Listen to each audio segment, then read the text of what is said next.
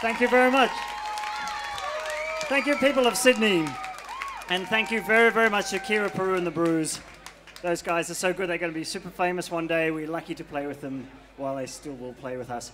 And of course, the Barons of Tang. You don't need to say anything more. And thanks for coming down.